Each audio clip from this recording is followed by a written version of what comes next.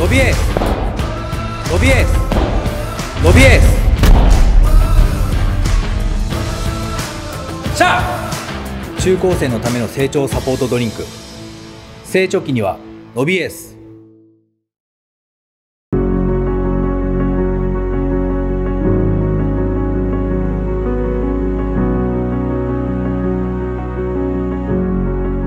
よろしくお願いします。よろしくお願いします。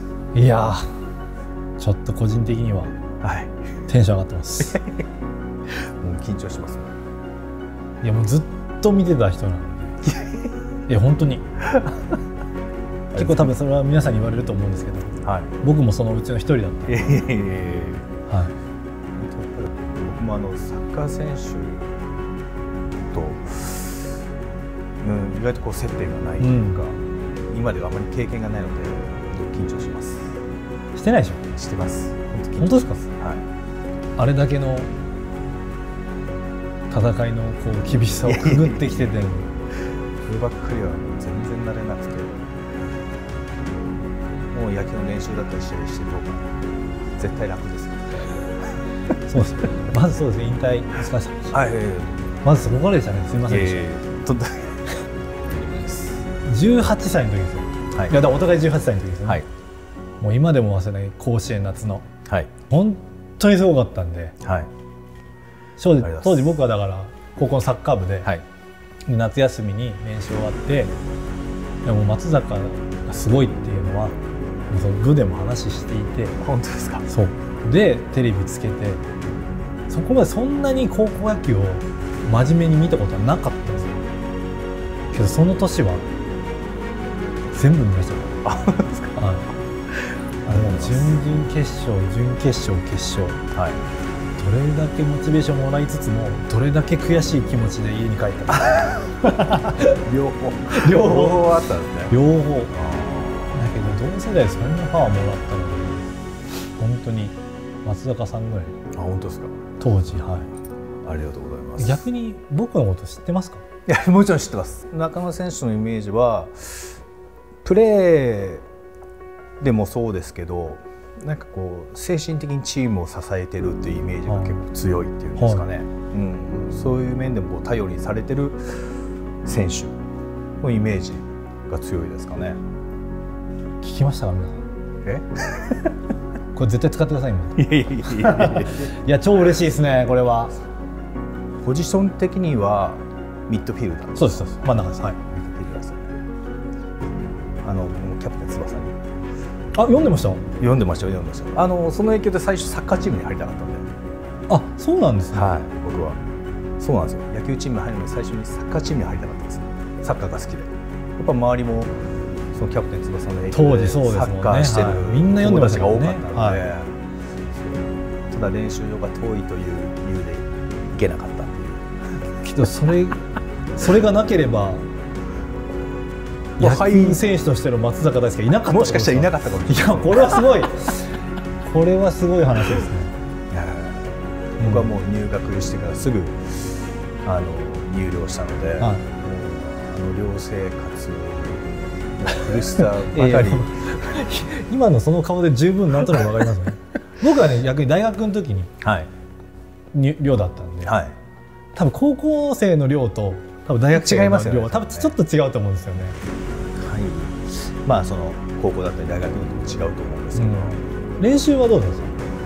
練習もとにかくきつかったですね。入学当時は、まあ、ピッチャーもバッターも、まあ、両両方両方で考えられてたというかもうピッチャーに専念したのは高校、まあ、2, 2年生の時ですね、それまでは、まあ、投げる球は速いけどコントロールが悪い。だけどまあ肩は強いから、まあ、野手でおーまあ、バッティングもバッティングもいいから野手でっていうのがメインだったんですけどまあでもとにかく走らされましたね。陸上部じゃないんだよとかって思いながら走ってましたけど、うん、でもこれがやってると走れるようになっちゃうんですよね、うん。まあ、でも走る量が一番きつかったですよね、それでサッカーってどれぐらい最低どれぐらい走らなきゃポジションによってもまたあーポジションによるんですけど多分そのミッドフィルダーが一番走るは距離長くて多い選手で多分12キロとか、12キロ。はい、あの1試合でですよ。90分の中で。まあそのディフェンスだったりフォワードの選手はもうちょっと多分10キロとかうん。少ないんですけど、選手にもよると思うんですよね。ああとチームのスタイルにもよるんで、ーあーなるほど。まあ、あとはやっぱり僕が学生の時はかなり走ってたんですけど、今結構多分いろんなこうサッカーをやりながらうん。フィジカルを上げていくみたいなピリオダイゼーションっていう言葉があるんですよ。なんかそういうのが結構今主流になっていて、もう本当にずっと走るみたいなのは多分だいぶ減ったんじゃないかえーそうなんはい。ねなんか陸上部みたいな。でもう学生の時はだからもう本当にもうそれこそがもう陸上じゃないんだよっていう。僕も一緒でしたから。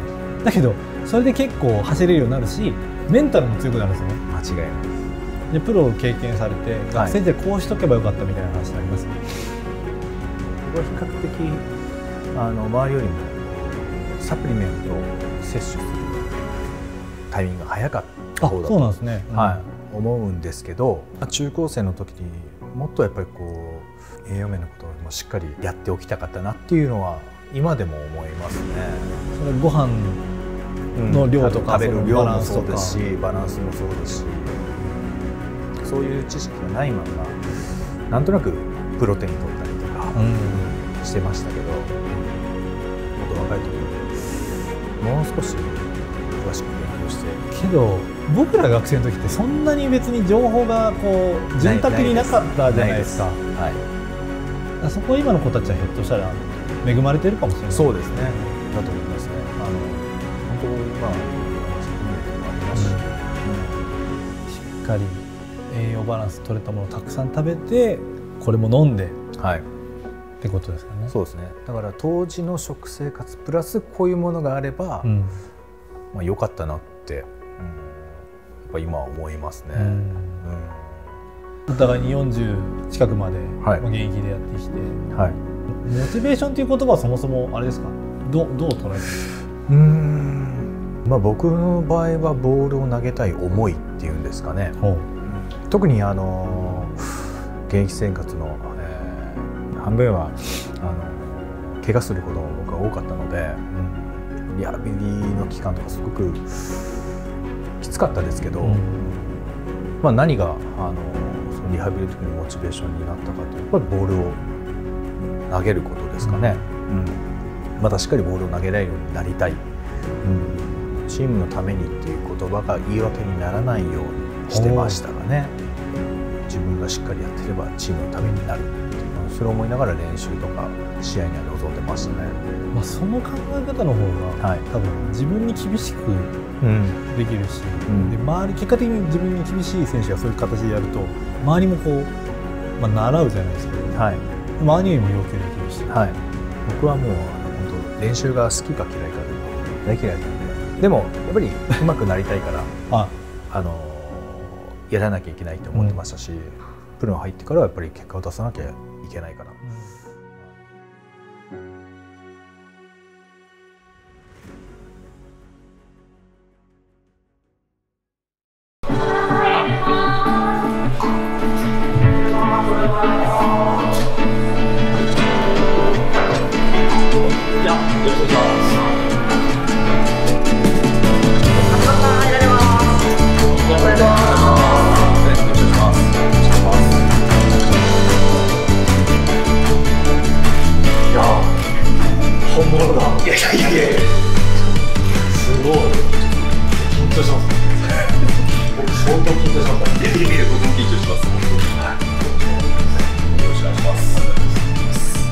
僕が18歳の頃から見てましたからもう二十数年経ってようやくご本人に会えたっていう喜びがあったのでだけどやっぱお話しする内容っていうのはもうすごく深いものでしたしアスリートとしてもまあ子どもたちにも通ずるものっていうのはたくさんいただいたんで僕も勉強になりましたしいやすごいなっていうふうには改めて感じてますいやもうそこまで言われたら喋ること僕ないですよね。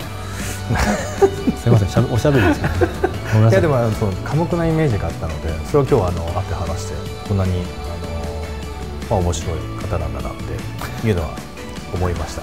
その話の内容がですね内容が面白い。はい。キャキャラキャラじゃないですよ。いやち緊張してたんですよ。あとはもう純粋にずっと思ってたことをぶつけてみたかったんでそれができて本当によかっいつもはもうちょっと寡黙なんですよ。やっぱそうです。いつももうちょっと静かです。でも僕もまあ今日知らなかったあのサッカーのことなんかも、楽しい時間でしたね。はい、あのチームのためによりもまず自分がっていうところがやっぱりすごく響きましたね、まあ、僕もアスリートをやりながらでで最終的にはそういうふうにまず自分がしっかりとやることがチームのためになるっていうのはすごく僕にも勉強になりましたしこれから自分が指導する時にも、まあ、そういうふうに伝えていっていいんだなって、まあ、松坂さんがやっぱり言ってるっていうのはすごく大きいですから影響が。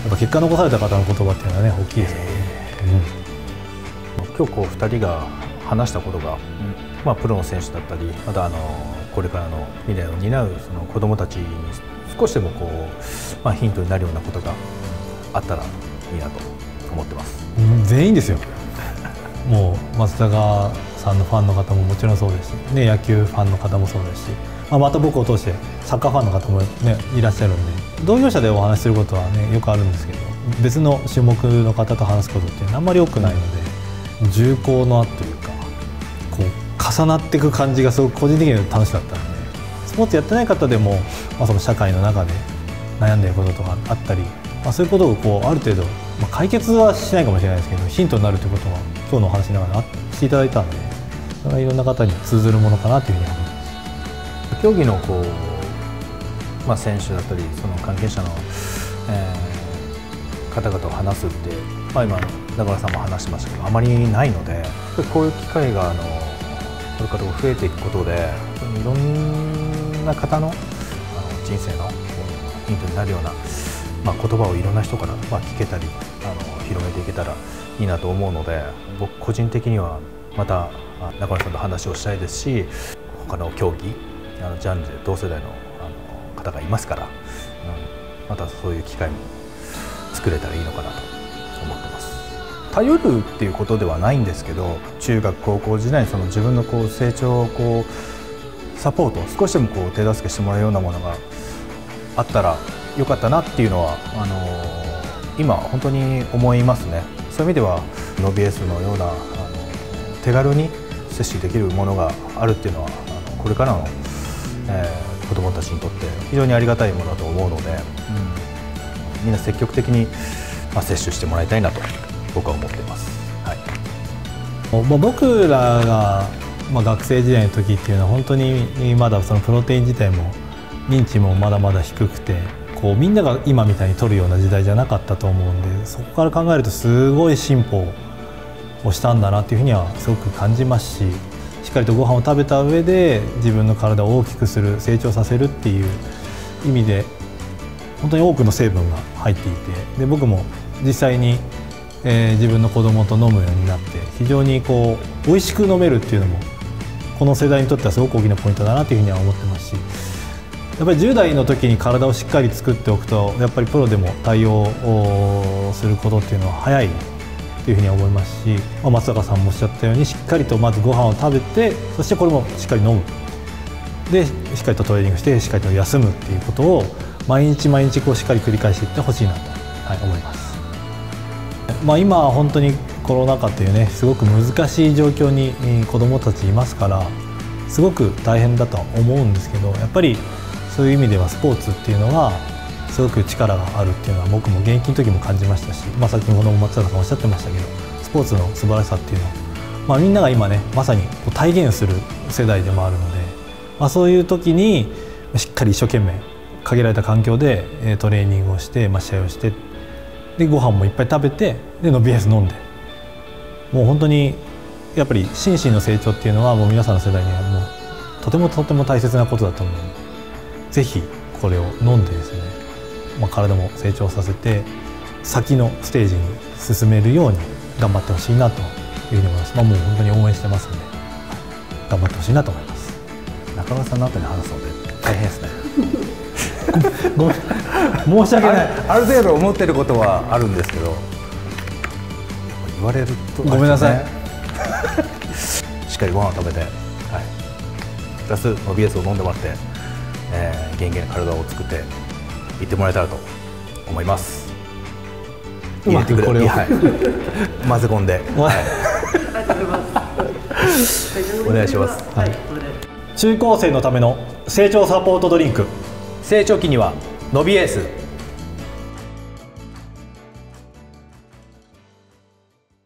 疲れ様でした。ありがとうございましたえっと、対応されてみていかがでしたか。いや僕にとってはもう夢のような時間でしたもうちょっと正直話したかったですそれぐらい楽しい。いやもうめちゃくちゃ楽しかったです。はい、もう想像していた以上に楽しかったです。はい、あのあのこんなに話す方だと思っていなかったので、はい、あの僕はあの一緒にやってるあのはい楽させてもらいました。はい。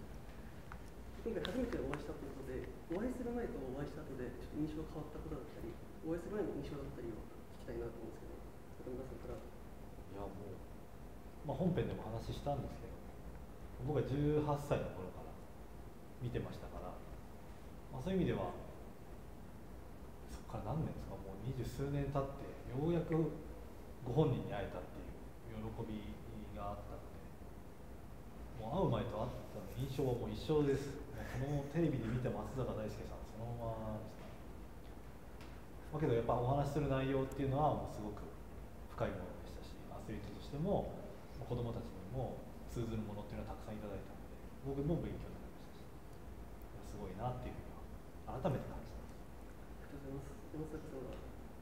いやもうそこまで言われたら喋ること僕ないですよね。す いやでもその寡黙なイメージがあったのでそれを今日あの会って話してあのこんなにあの、まあ、面白い方なんだなっていうのは思いました、はい、その話の内容がですね内容が面白い、はい、キャラキャラじゃないですよ。いや緊張してたんですよ。緊張してちょっと早口になってたけどちょっと間間が持たないって静かに。ちょっとわかります。わかります緊張しちゃうから、はい。なんか喋んなきゃいけないって。いうのが、あとはもう純粋にずっと思ってたことをぶつけてみたかった。それができた。はい。いつもはもうちょっと寡黙なんですよ。い やっぱそうですね。いつももうちょっと静かはい。でも僕もまあ今日知らなかったあのサッカーのことなんかも、はい、聞けてあの本当に楽しい時間でしたね。はい、ありがとうございます。で、いろんなお話されて、モチベーションの話だったり、まあ子育ての話だったりされたんですけど、なんか興味深い話だったり、えっと思った話があれば、聞きたいなと思います。あのチームのためによりもまず自分がっていうところはやっぱりすごく響きました、まあ、僕もアスリートをやりながら、まあ、そういう気持ちを持ったり、まあ、そのチームのためにって思ったりっていう中でで最終的にはそういうふうにまず自分がしっかりとやることがチームのためになるっていうのはすごく僕にも勉強になりましたし、まあ、あこれから自分が指導する時にも、まあ、そういうふうに伝えていっていいんだなって、まあ、松坂さんがやっぱり言ってるっていうのはすごく大きいですかね。結果残された方の言葉ってね。いやいやいやいや。です。山崎さん。そうです。ね、あのー今日こう2人が、あのー話したことが、うんまあえーまあ、プロの選手だったりまた、あのこれからの未来を担うその子どもたちに少しでもこう、まあ、ヒントになるようなことが、うんあったらいいなと思ってます。いやもう聞きたいことを先に言ってくれてすごい僕が助かってるんですけど この今回対談動画とかをどういった方に見ていただければ嬉しいかなっていうところをみ全員ですよ。もう松坂さんのファンの方ももちろんそうですし、ね、野球ファンの方もそうですし、まあ、また僕を通してサッカーファンの方も、ね、いらっしゃるんでこうなかなかこう同業者でお話しすることは、ね、よくあるんですけどやっぱりこう別の種目の方と話すことあんまり多くない。ので、まあ、すごくこう重厚なというかこう重なっていく感じがすごく個人的には楽しかったのでいろんな方にそのそのアスリートじゃない方スポーツやってない方でも、まあ、その社会の中でこう今悩んでいることとかあったり、まあ、そういうことをこうある程度、まあ解決はしないかもしれないですけどヒントになるってことを今日の話ながらしていただいたんで、いろんな方に通ずるものかなというのは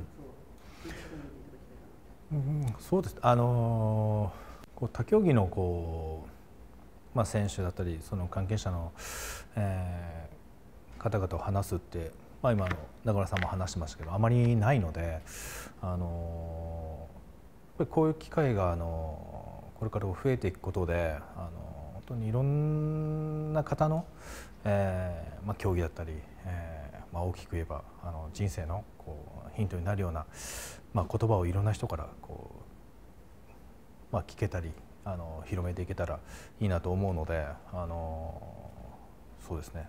僕個人的にはあのやっぱりまたあの改めて話をしたいですし中村さんと話をしたいですしまたあのまだ他にもこう他の競技あのジャンルで同世代のあの方がいますから、うん、またそういう機会も作れたらいいのかなと思ってます。ありがとうございます。で最後のあの質問というか、まあ、コメントとして、モディースターゲットが中高生ということで、もう4月から新学期も始まるので、最後に中高生、頑張る中高生にメッセージをいただけたら嬉しいなと思います。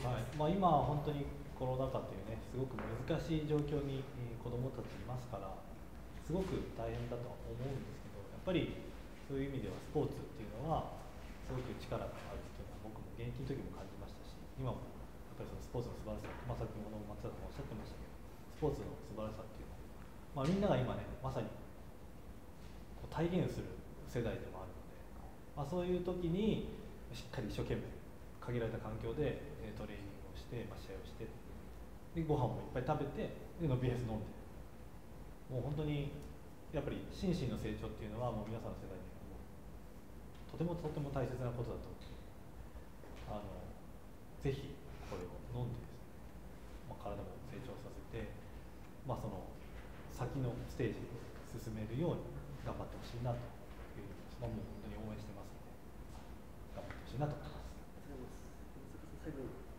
実際にメッセージをお願いします。中村さんの後に話すので大変ですね。ある。ある程度思ってることはあるんですけどやっぱ言われるとあれですよね。難しいですね。いやいやいやいやいやいや。いやうん。そうですね。うーん。まあ中高生にうーんどうしよう。困ったな。困ったな。どうしよ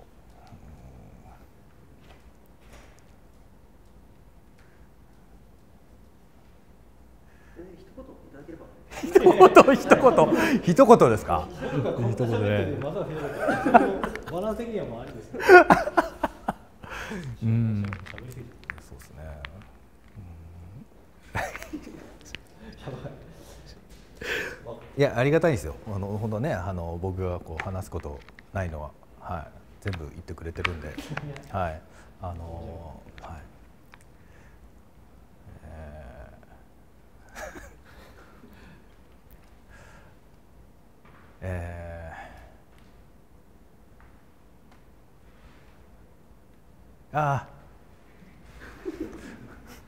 この困ったぞ。困ったな、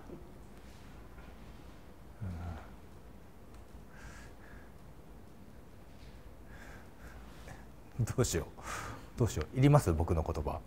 いります？いります？いやいるいるいる。いる。いるかな？いるかな、うん。こうね締めの言葉としてはそのしっかりご飯も食べてあの OBS を飲んで、えー元気な体をあの作ってほしいです。って締めたかったんですけどその前の言葉ですよね問題は。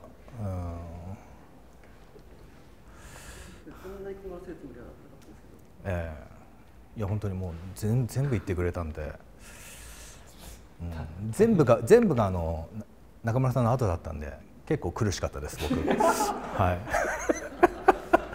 質問質問によっては僕から言いたか言いたかったこともあったんではああ、そっかそっか。いはい。はい、うん、いやでもそれはもう先に先輩としてあの言いたいことをちゃんとあの伝えたいことをあの言ってくれたと思うので、はい。いやいやそんなことないです。そんなことないです。うん。うん。しっかりご飯を食べて、はい。プラスノビエスを飲んでもらって、えー、元気な体を作っていってもらえたらと思います。でうまくこれを入れてくれはい混ぜ込んではい お願いします。はい、これで以上です。はい。はい、すみません、座りながらで申し訳ない。です。はい。商品の PR コメントいただけたらなと思うんです。けれども、はいでちょっと考慮して松坂さんから。考慮して今度は逆に僕が難しくなりますからね。ええそれはそれで僕のハードルが上がってるんですけどね。なんか中高生に向けた商品なんですけれども、はい先ほどの会談の中で、まあ、ご自身の中高生の時期を振り返って、まあ、こういう商品なかったよねとか、うん。こういう知識なかったよねなんてお話いただきましたけれども、はい。やっぱり長い人生の中でその10代の体作りってすごく大事な時期だと思うんですけれども、ご自身の経験だとかそういったところも踏まえて、えー、とノビエースのおすすめポイントいただけますでしょうか？そうですね。うん、うん。まあ、単純にあのあの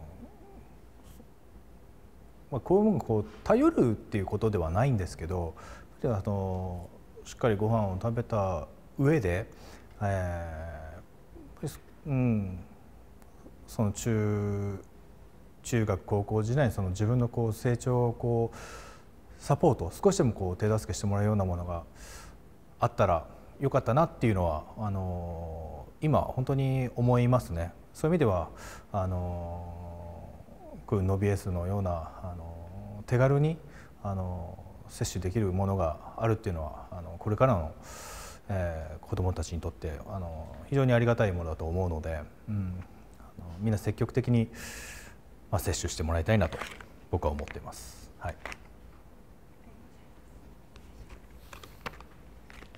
まあ、気持ちわかるわ いやまああの僕らが、まあ、学生時代の時っていうのは本当にまだそのプロテイン自体も認知もまだまだ低くてこうみんなが今みたいに取るような時代じゃなかったと思うのでそこから考えるとすごい進歩をしたんだなっていうふうにはすごく感じますし、まあ、逆に、まあ、子どもたちにとっては今たくさんサプリメントを含めてある中でやっぱりこのノビエースっていうのが、ま、どういうサポートができるかっていうのはあの、まあ、説明もされているところあります。あのしっかりとご飯を食べた上で自分の体を大きくする成長させるっていう意味で本当に多くの成分が入っていてで僕も実際に、えー自分の子供と飲むようになって非常にこう美味しく飲めるっていうのも大きなポイントだな。この世代にとってはすごく大きなポイントだなというふうには思ってますし。やっぱり10代の時に体をしっかり作っておくとやっぱりプロでも対応をすることっていうのは早いというふうには思いますし体をしっかり作っておくことに越したことはないので、松坂さんもおっしゃったようにしっかりとまずご飯を食べてそしてこれもしっかり飲む。でしっかりとトレーニングしてしっかりと休むっていうことを毎日毎日こうしっかり繰り返していってほしいなと、はい、思います。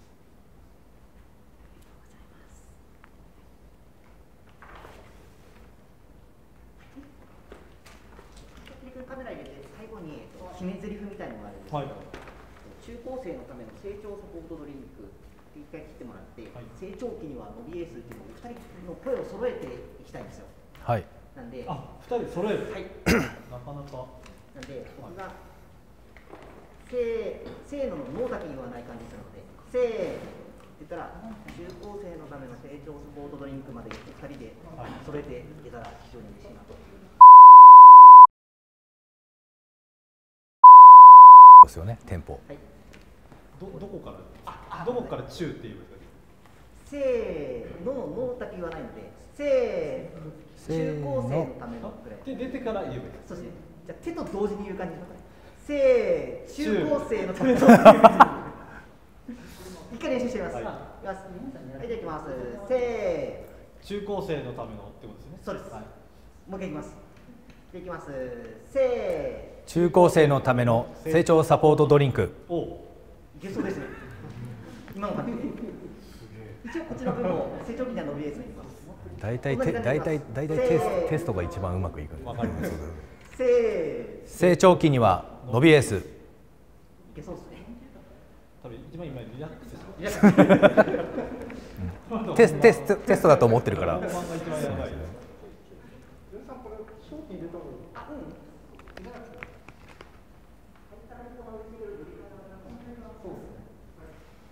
それかもう学芸ごめんなさい商品をちょっとだけでも本当にここ決め台詞な感じなので。刺さると思っていないんだけど南と大体合ってるのかな。は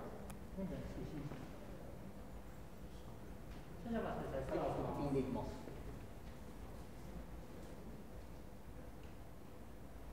決めなので、なんかいろんなものの一番最後に声だけだったりとか、あはいあのはい。お顔だったりとかで使うような感じなので、はいお待たせしました。はい、お願いします。あの100の4の2500いければ。はい回りかこっちへ回りかはい、じゃあ回してください。回ります。回りました。はいでは行きます。せー中高生のための成長サポートドリンク回しっぱで。音大丈夫ですか？取れてないですか？大丈夫です。もう一回だけいきます。はい。はい。はい、じゃあ行きます。せー中高生のための成長サポートドリンク。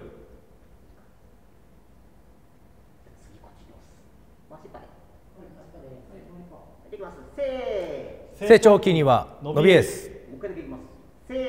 成長期には伸びエース。成長期には伸びエース